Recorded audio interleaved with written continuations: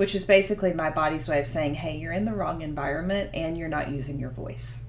And so, really, everything that I teach now has come through my own personal lived experience.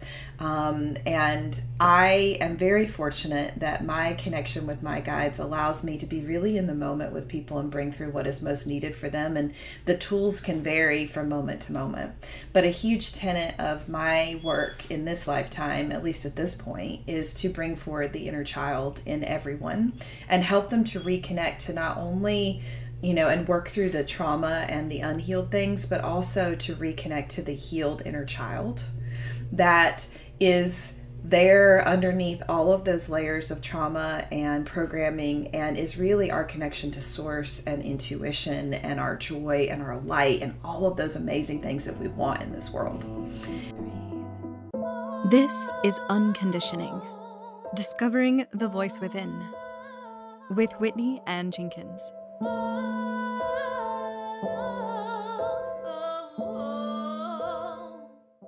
Hello and welcome to the 49th episode of Unconditioning Discovering the Voice Within, where I bring on guests and we talk about the inner authentic voice and the challenges and the rewards that come from following it.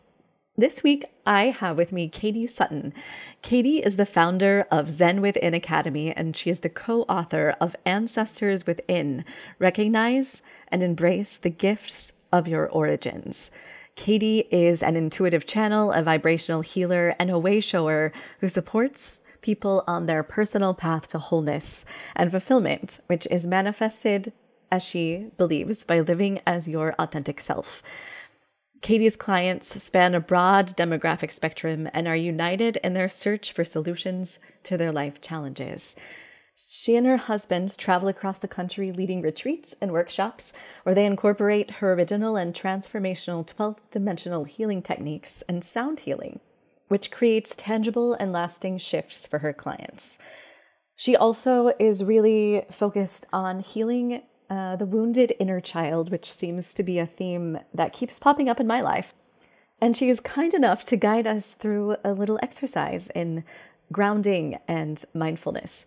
So here is my conversation with Katie Sutton. Kind of the guide of that. So yeah, yeah, maybe we can just kind of drop into Mother Earth and ask her to ground us and ask her to help us bring through the messages that your listeners need to hear the most and to support us in bringing that through with as much love and grace as possible. We just appreciate her support so much and grounding us into that. Yeah. Thank you. That felt good. Mm-hmm. so, you guide people to find their authenticity and their inner voice. And in order to be able to do that, you had to go through a lot of things yourself. And so, one of the first things that I like to ask my guests is when was the first time that you realized that you had this inner voice, an authentic voice of your own, mm-hmm. and it wasn't really influenced by your environment or your family or anything around you, but it was something that you could recognize as purely your own? Mm, that's such a beautiful question. Um, I feel like that realization came in for me when I started singing and doing mantra and chanting. And um, it was many years ago. I think it, my husband and I did the math. It's been like nine years of us doing sound healing for okay. different groups, yoga yoga studios and different groups, and we've kind of evolved as sound healing teachers. That's how we kind of got started and um, I was invited to help lead a kirtan class by a friend, and I didn't even know what kirtan was, which is basically devotional yoga mm-hmm. of singing mantra over and over and over again. And um, I was invited to do that, and then around the same time, I was also invited to um, do sound healing for a yoga class, and I had one singing bowl. My husband had a didgeridoo. Oh, wow. And there was something that happened in that of me being able to sing um, and play music and bring that information I, I consider that technology forward mm-hmm. through my being and it it began to heal my throat chakra, which had been pretty much out of balance my whole life and is still a lovely place of opportunity and growth for me every single day. I try to look at it that way. And and so I think when I finally just said yes when the invitation came, even though I didn't know how I was gonna do it or what I was gonna do, and I just said yes, and that's kind of been my mantra to just keep saying yes when things get presented to me, even if I don't really know if I have the skills in me or, you know, if I have the why yet, um, and just to say yes. And so I think that was a big opening for me um, that helped me to get into an environment where I felt like I was completely seen and heard. Mm-hmm. And because uh, I was in, still in the corporate space at that time, working a corporate job and just doing this kind of on the weekends. Um, so that really started to open for me. And then that snowballed into many other things where I started to find the voice of my inner child. And when she came back to me, that's when I found my voice. Oh, and boy, she had a lot to say, and I had to deal with that for a little while and really deal with her anger and her frustration and her sadness. Um, but yeah, I feel like singing and, and sound healing opened the door for that for me. Incredible. So, going back to your inner child for a second, I'm curious uh, were you brought up in a spiritual environment? Yes and no. Um, so I, my mom is an amazing human, and she took me to channelings and herbal tincture making classes and all these amazing like kind of new age hippie things that she was really into. And i kind of just went along and was really curious about it. And when I was, I think, 11 or 12 years old, I started watching um, some DVDs because we only had two channels of some spiritual teachers that my mom followed. And so I was kind of pulling all this information in. But compared to how I feel now and really anchored into that path, I think I was really just trying to understand why I was so sensitive mm-hmm. and why I was here. And so I was exposed to it, but my mind had anchored into this very masculine path of I'm going to be t- uh, CEO of a technology company. That was like what I wanted to do. I mm-hmm. loved computers and technology. And so it was really interesting because there was always this dichotomy in, in my being and in the household because I was exposed to all these things. But I just looked at it as something that I was curious about and something that helped me understand the world. I never thought of it as my path at that time. Mm, yeah that's that's a really interesting combination of a technology and also that's the spiritual and trying to make sense of all of that. Hmm. Yeah, I say that I am CEO of a technology company now. it's just not that kind of technology that I expected. So, but, but but now we're using technology to to talk about this and deliver a message. So it it also it all works. Yeah, it all works together. So some of the work that you do um, is around the inner child, like mm-hmm. healing um, and ancestral work, it, it looks like. Mm-hmm. So, would you like to talk more about that and and how you came across like wanting to help people with that?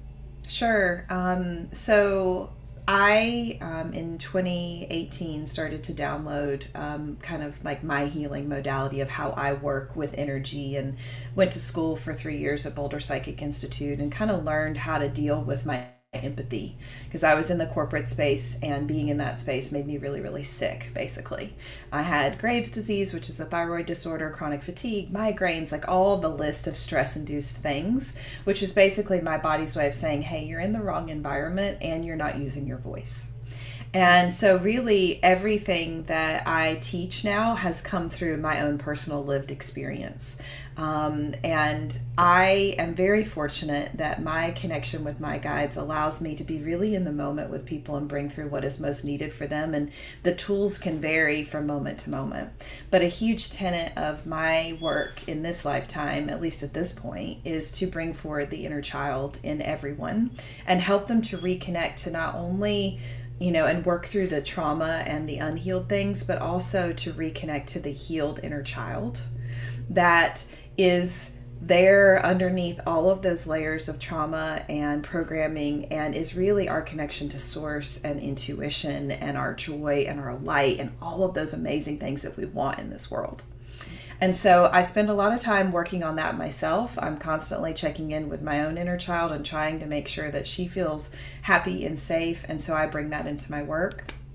And ancestral healing is very similar because when I work with the ancestral piece, it's about kind of clearing out the trauma that we carry on an ancestral lineage standpoint, but really connecting to the strength, courage, and resiliency that comes behind all of that. Because every time we go through a trauma, there's strength, courage, and resiliency that is available to us once we are separated from the wound.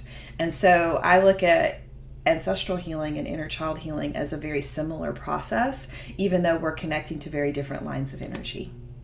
Yeah, I, I could see how those could intertwine for sure. And and looking at things from an inner child perspective, that seems to be popping up a lot for me. It's something that um, I'm encountering more and more, and it, it really brings a compassionate filter into the mix of looking at everyone um, as everyone has an inner child and wounds that they're trying to heal. Absolutely. I feel like um, I tell people all the time when I'm working with them on relationship conflict that 98, 99% of all conflict is at the inner child level.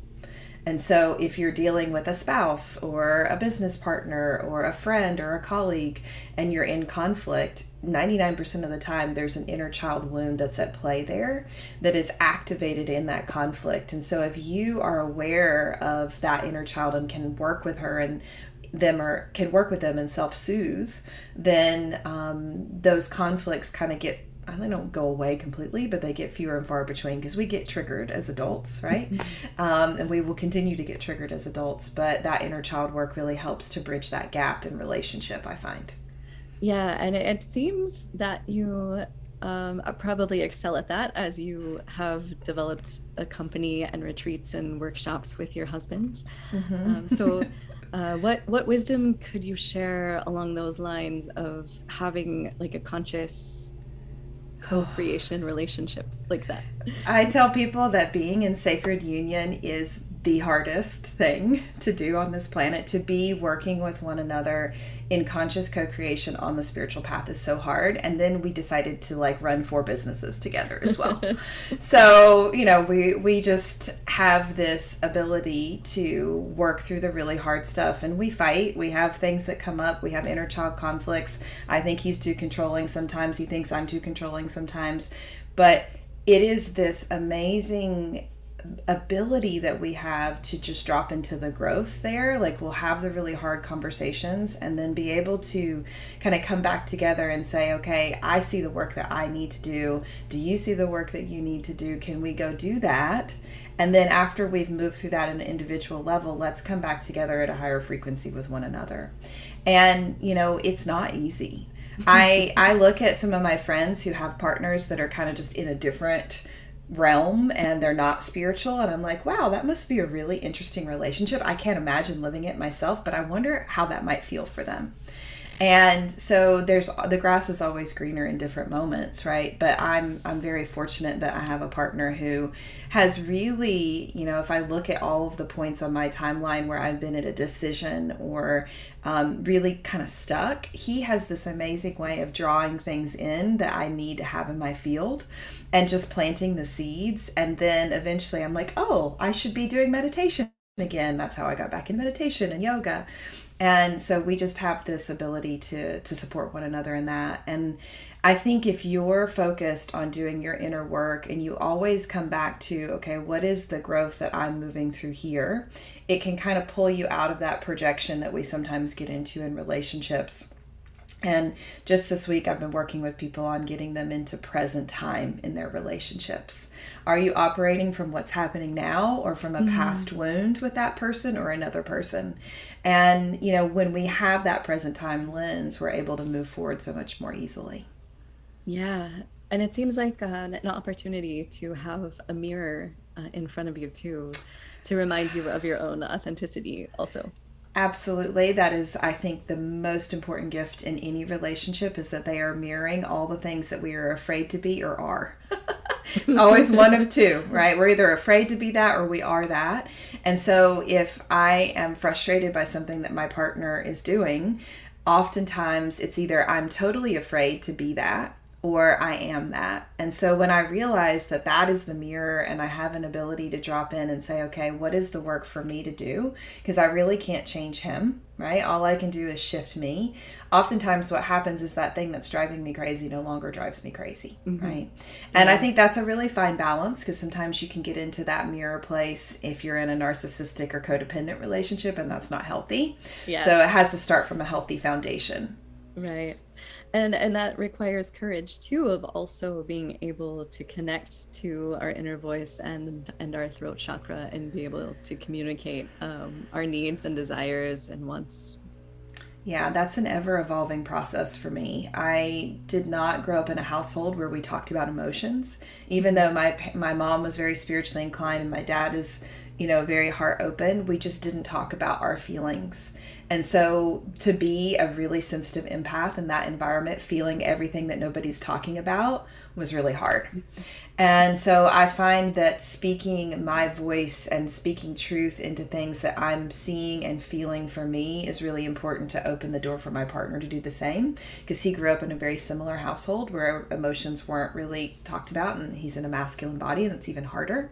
Yeah. Um, and so when I use my voice, oftentimes that's what kind of catapults us forward, even if it doesn't come out in the way that I want it to, if it comes yeah. out in shadow or in projection, it's normally that kind of release that allows us to move through the hard things.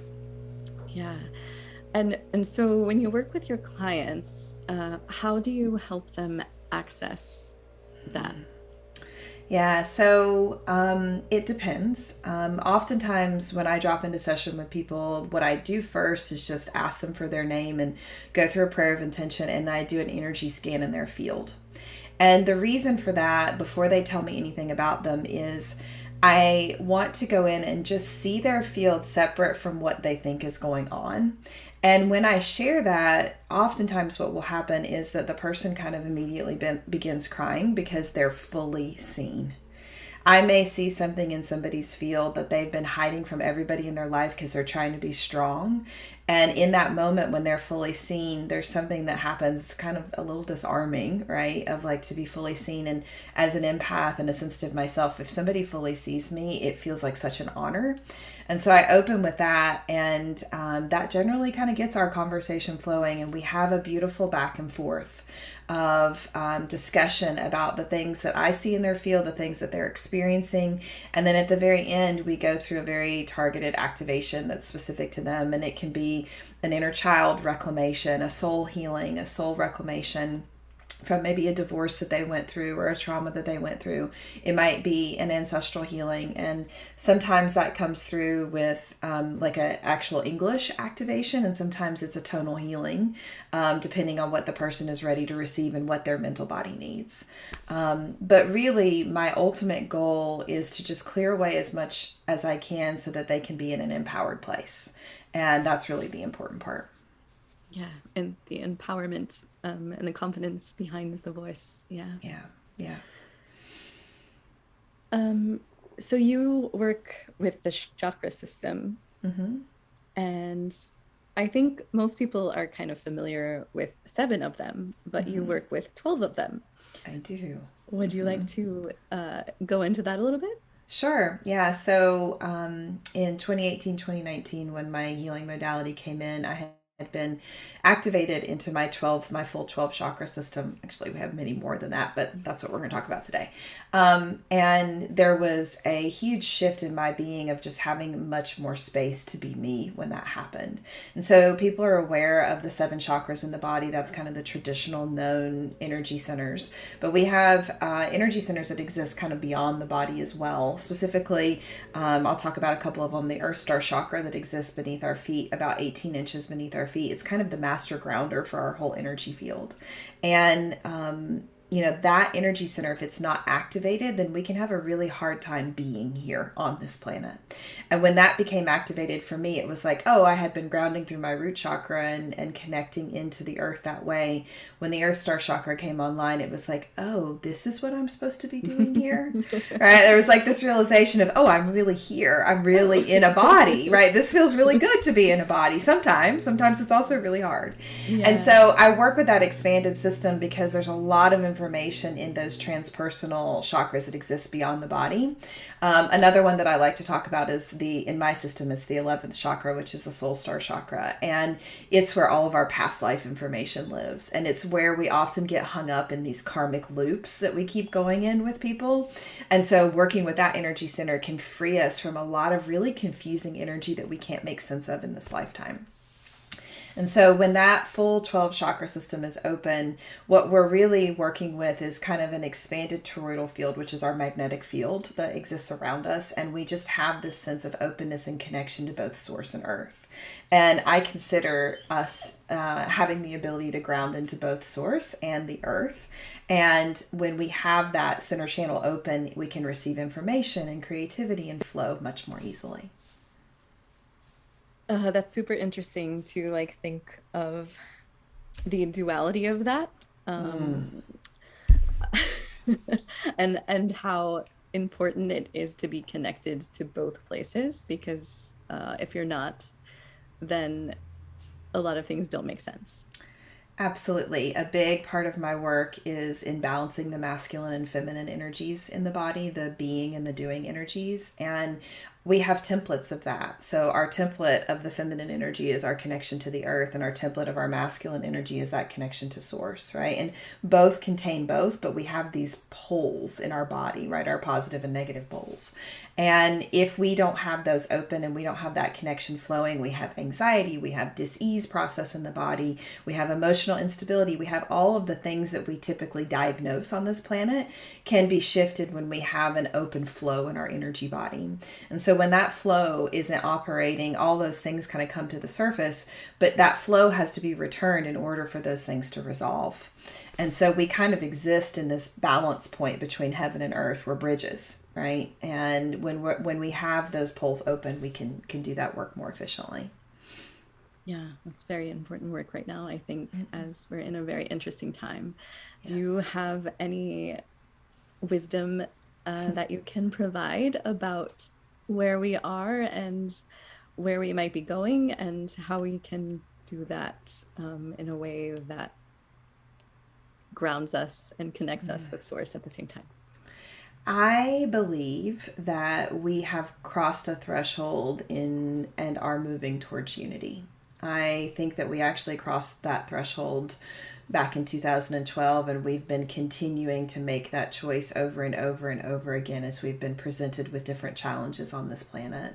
And so my view of where we're headed is actually very optimistic. I was thinking about that this morning in meditation that, you know, a big tenet of my work now is to bring in the new earth now and understand that it's already here and we have to anchor it at an individual level. We have to understand that we are the creators of our reality. We have a lot of control and empowerment energy available to us as individuals and we're seeing that with people leaving corporate jobs and you know starting their own businesses and leaving the medical system and all these things around us, these systems around us are shifting. Mm-hmm and I, I do see that for the next, you know, I hate to say it, probably the next 10 years, we're going to have a lot of chaotic energy around us because these systems have to dismantle and be rebuilt and new.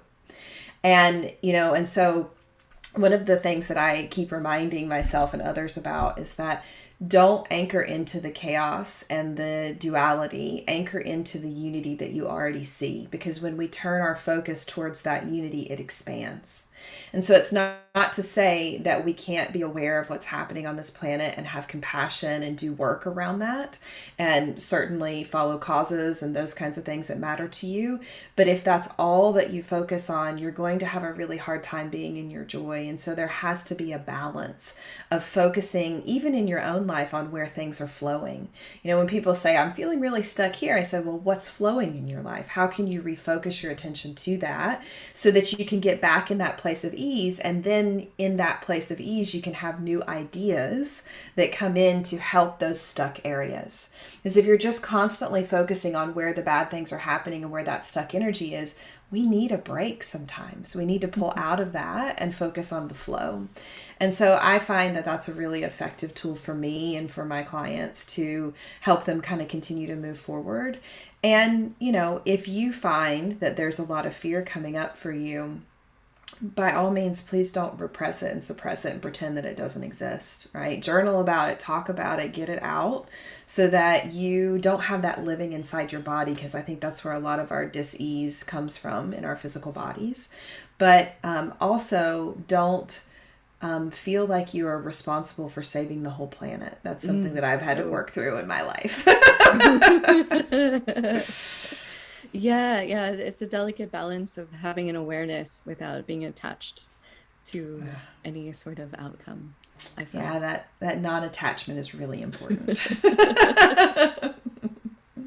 so so that makes the work that you do even in more significant and important as we move forward um, because it seems like the individual transformation is going to have a ripple effect um, on an even greater level as we navigate the chaos.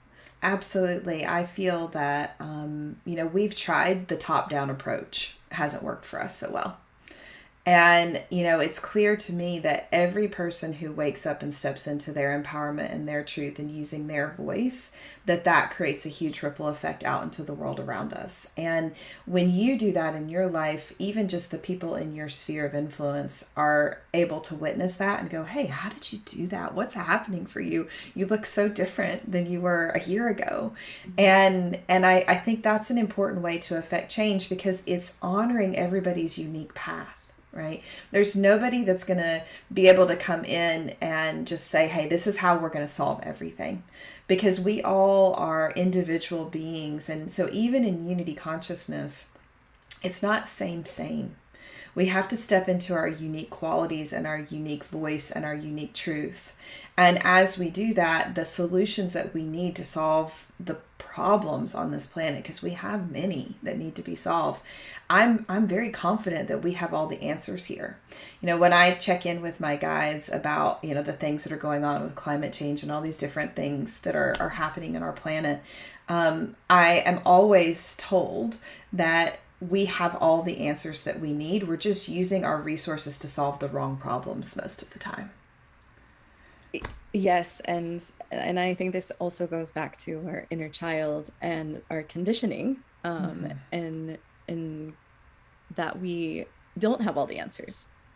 And as we uncover an uncondition, as the title of this podcast, uh, we can get to the core of that. We already know everything that we need and have all of the resources that we already need to know. Abs- absolutely. That inner child is a super wise being.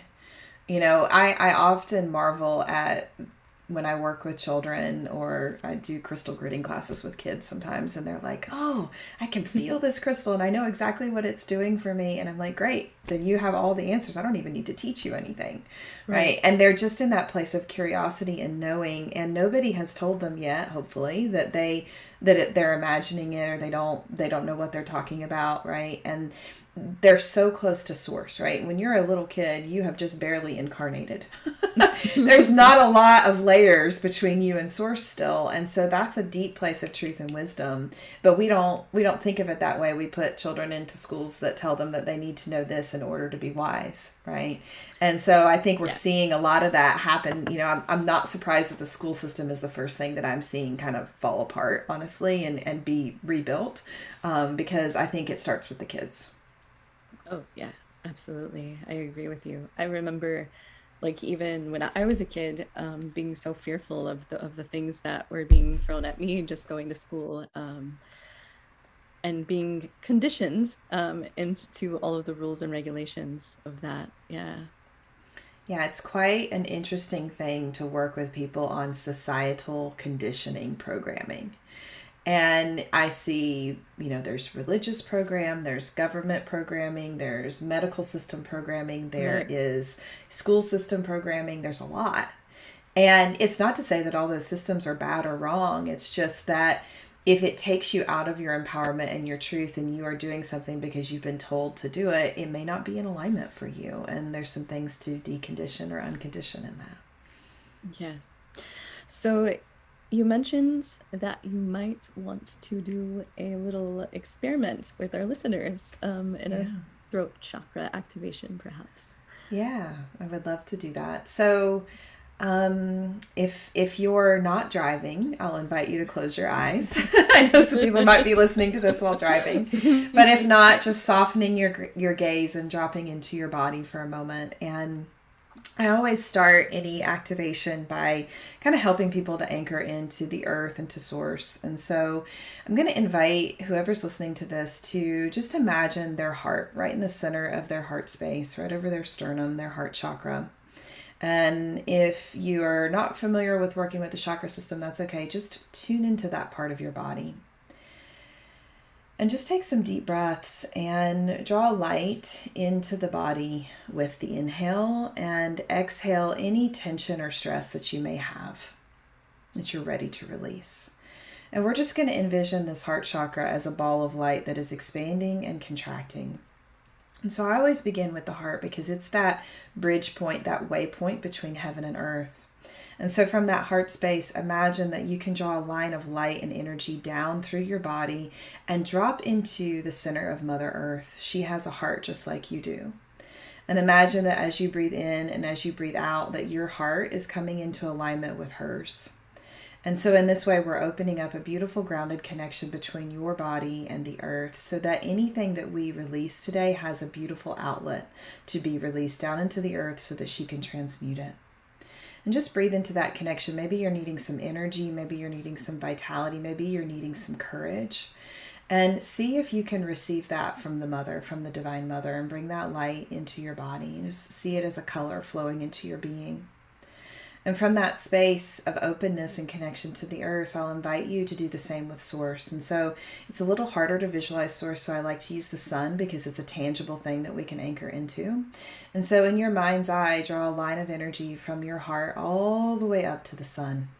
All the way up through the ethers, all the way up to the sun, opening that connection, that above space. And the sun is such a keeper of wisdom for us and light codes and information and vitality. And so draw that back into your body. And, you know, when we're working on activating our voice, it's often fear that keeps us out of our voice and out of uh, our place of truth. And it's often judgment that also keep it, keeps us out of our place of truth. And so, as you're bringing this light into your body, just allow it to move through that whole center channel. It's kind of opening up that space and specifically that space between the heart and the throat.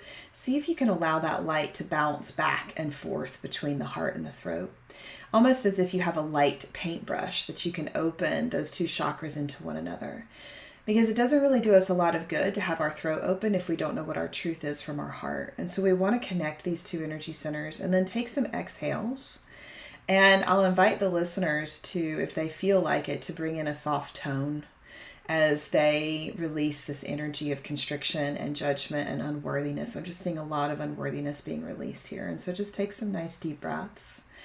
And as you're breathing here, imagine that this light that's coming from source and this light that's coming in from the earth is activating you into your highest truth in this moment. And I like to invite my students and my clients to imagine a color that represents them being in their highest truth. I call this their truth color. And begin to see that color flowing through this center channel and activating those chakras into their highest truth in this moment. Whatever that may be, maybe they need to have a hard conversation with a spouse or a partner, or maybe they need to ask for a raise at work. And so draw that truth color, which is really their power color, into their body and breathe into that energy for just a moment. And if there's anything that you need to release, you might yawn, you might have a little burp that comes up. That's an energy release too. The body might need to move a little bit. Just let some of that tension in your being release so that you can be in this place of truth. And then I always like to end by asking for help. And so if you are not sure what to say, you're not sure how to be in this place of truth, you're not sure, Ask for some support from Source, whatever you believe in, from the earth, from guides, if you have a connection with them, from the angelic realm. And just ask for what you need in this moment and let that intention be part of your truth here. And as you breathe into that, feel that expand in your body and in your field and be sent out as a silent request out into the universe. And it's also okay to say it out loud. And just know that you are loved unconditionally and you are supported by Earth and by Source. You have everything that you need to be what you want to be in this lifetime. And if you have your eyes closed, you gently can open them, and we thank Mother Earth and Source for supporting us. Thank you so much. That was beautiful. Mm-hmm. Absolutely. Yeah. So after that, I'm sure that people are going to want to work with you. Mm-hmm. So, how can they work with you, and what does that process look like? Sure. So I offer one on one sessions. It takes um, six to eight weeks to get on my calendar most times right now. Um, I also offer a monthly online healing circle that um, we do as a group. And so there's a topic that comes in and it supports wherever we are as a collective right now. And so we do that in community. And so there's a channel teaching that comes in from my guides and an activation, kind of like what we just did. And um, I'm launching um, now in this moment in September, but it's going to be open for enrollment for the next year. Um, the New Earth Now School, which is really for spiritual seekers who want to find their voice, want to find their gifts, um, want to activate into their new earth now, whatever that looks like, whatever their next step is for them now. And our first volume of the course is going to be focused on ancient body wisdom and activating our understanding that we can heal our bodies from the inside out. And we have the capability to do that and we've forgotten that over the many thousands of years that we've kind of been in that place of disempowerment. So zenwithinacademy.com and newearthnowschool.com are my two sites that people can get in touch with me on. Thank you so much. Um, i love those offerings. I'm going to check them out myself. Um, so i have like one last question that i usually ask to wrap up the conversation and that question is if your inner voice had a billboard, what would it say to the world? what I saw immediately flashing in bold letters was just do it now. I I feel like a lot of what I work through in this lifetime, I say yes to things and then all of the fear comes up afterwards. And it's that initial knowing that initial voice that comes in and then we we anchor into it and then we allow the voices of everyone else around us and all of the conditioning that we have to talk us out of it and so i think coming back to that centered place and coming back to that knowing that we have initially and that spark that we feel which is really our inner child's truth and doing your best not to allow anybody else to influence that or take you out of that awareness and finding your way back to it when you need to. That would be my billboard message. Just do it now. Excellent. I love that. Well, thank you so much for being a guest on the show. Um, I'm going to add all of your links into the show notes so that people can access those very easily and quickly. And yeah. Thank you, Whitney. Thank you so much for joining me this week. If you're listening and you like what you hear, please consider subscribing and rating this podcast, as it really helps get this podcast out to other people who might be interested in hearing it but don't know about it yet.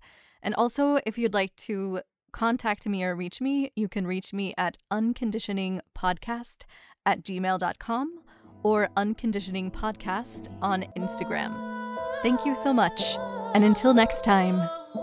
Stay tuned in to you.